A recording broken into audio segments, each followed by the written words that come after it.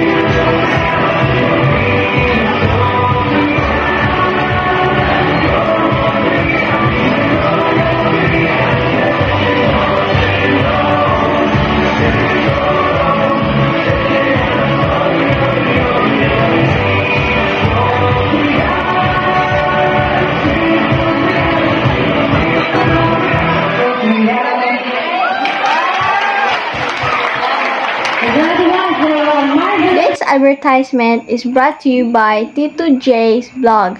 Don't forget to subscribe.